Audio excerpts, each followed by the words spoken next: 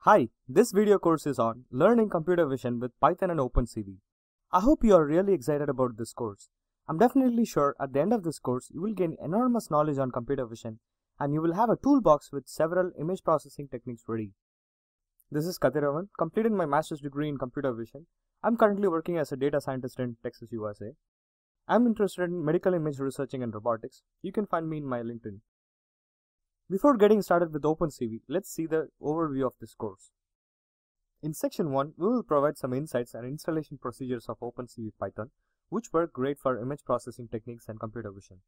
In section 2, we give the insight of working with images in frequency domain and helps in finding the edges in the image using image gradients and segmenting the image. In section 3, we detect features from images and use it for detecting the objects in images. For example, in this section, we will detect faces in the images using features captured from several positive and negative images. In section 4, we will learn about getting started with videos and do the background subtraction and calculate the optical flow of the object in the video using different methods and finally track the object in the video using mean shift and cam shift. Basic Python programming, NumPy and Matplotlib are the prerequisites of this course. Let's get started. The different morphological operations are erosion, dilation, opening, closing, morphological gradient, top hat, black hat, and structuring elements. The first one is erosion. The pixels in the original image are considered as 1, only if the pixels under 2D convolutional kernel is 1. Pixels near the boundaries are eroded based on the kernel size. It is useful for removing white noises or detaching two connected objects. The function is cv.erode. I have a spoiler alert for you. We're gonna see one more example on this morphological operations in image segmentation using watershed algorithm. Let's look into the code for erosion. So here we have used cv.erode and after erosion this is the eroded image. And this erode method removed all the white noises in the input image. The second one is dilation. It is the opposite of erosion. The resultant image pixel element will be 1 if at least one pixel under 2D convolutional kernel is 1. This in turn increases the white region of the image or increases the size of the foreground object. In noise removal, dilation is performed after erosion. So for dilation, we use the method called cv.dilate. Let's look into the code. Here we use cv2 to dilate. What it exactly does is it increases the white region of the image. So this is the input image and this is the dilated one. Later looks so different. The third one is opening. Opening is otherwise known as erosion followed by dilation. It removes the noise in the image. So we use the function cv.morphologyEx with the parameter cv.morph underscore open. Let's look into the code. So here in the code we use morphologyEx with the parameter morph underscore open. So how it exactly works is erosion followed by dilation. So this is the input image, this is the opening image. The fourth one is closing. Closing is otherwise known as opposite of opening. So here dilation followed by erosion. So we use the OpenCV's method cv.morphologyEx with morph underscore close as the parameter. So like I said, morphology underscore x and morph underscore close. So how it is different from opening is like in the closing image you can see more of white region in the image. Which means first we perform the erosion operation and then we go for the dilation one. The fifth one is morphological gradient. Morphological gradient is nothing but the difference between the dilation and erosion of the image. The resultant image will appear as the outline of the image. Let's look into the code. So here we have morphology x, that is like we have been using it for a long while I guess. And with the parameter cv2.morph underscore gradient is the thing. So here is the input image and here is the difference between dilation and erosion operation in the image. Next one is top hat. Top hat is otherwise known as difference between the opening of an image and the original image. Let's look into the code. Okay, so here we use morph underscore top hat parameter for morphology x method. So here is the output. What's happening here really is like it calculates the difference between opening of an image and the original image. The next one is black hat. Black hat is otherwise known as the difference between closing of an input image and the input image. And we have a parameter morph underscore black hat. Let's check the code. So how black hat works is like it calculates the closing of the image and then you have the input image so finally finding the difference between closing of the input image and the original image That's known as the black hat operation. So the last one is structuring element. So getting structuring element function from OpenCV gives you the desired shape and size of the kernel. So we can get morph underscore rect, we can get morph underscore ellipse or cross or whatever the function you want. Like rect in the sense like it will give you the rect shape kernel.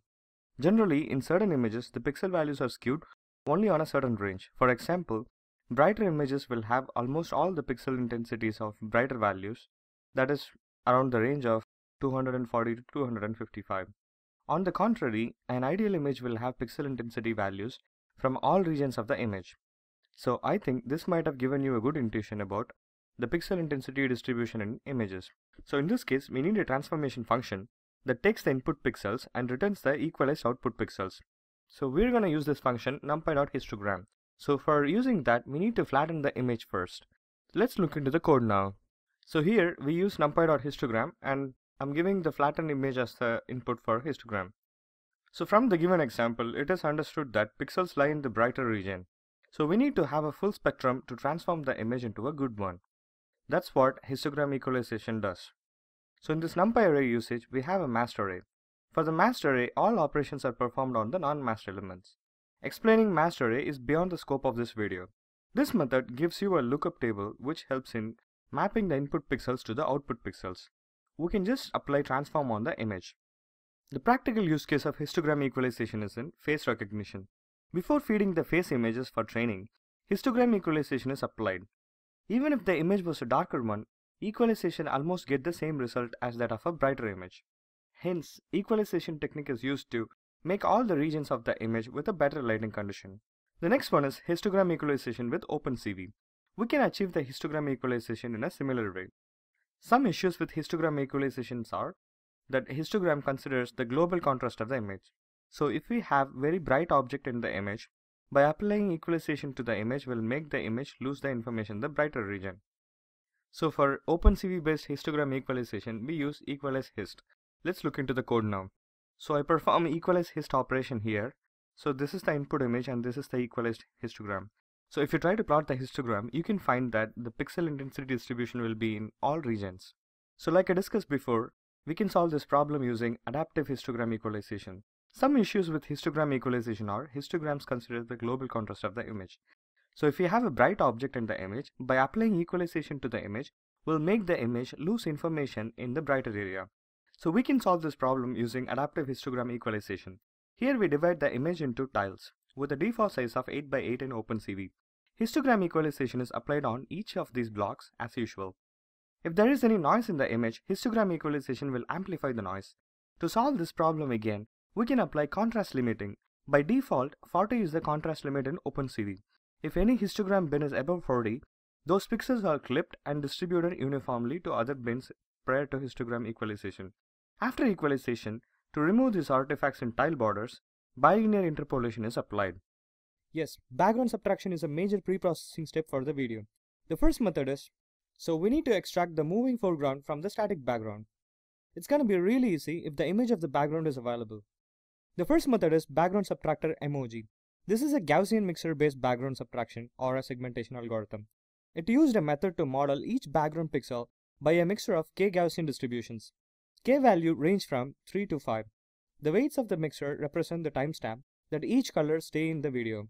The probable colors are the video background colors which stay in the video longer and static. For achieving this, we need to create a background subtractor object using create background subtractor MOG method. It has the parameters like number of Gaussian mixtures, length of history, and threshold, etc. You can play around with these parameters in the video. Let's look into the code. So here in the code, we are going to use the same Usain Bolt video sample. Let me run the code. Okay, here's the thing. The background is subtracted from the video. The second method is background subtractor MOG2. This is a Gaussian mixture based background subtraction or a segmentation algorithm. The most important feature here is that it selects the appropriate number of Gaussian mixture for each pixel in the video. Also, it provides adaptability for varying scenes and illumination. Let's look into the code. In background subtractor MOG, we have different parameters. In MOG 2, we have an option of detecting shadow in the video. If detect shadow is equal to true, then it detects and marks the shadow in the video. Shadows are marked in gray color. One more important thing is it decreases the speed of the background subtraction. Let me run this code. So it looks like better than MOG, the last background subtractor method is background subtractor GMG. This algorithm makes use of statistical estimation of the image and per pixel Bayesian segmentation. By default in OpenCV, it uses 120 frames for modeling the background. And deploys Bayesian inference for the probabilistic foreground estimation. New observations are given more weights than the old to differentiate the illumination. Morphological operations like opening and closing, which we discussed in the section 2, are used to remove the noise. You can try to implement this yourself as a homework today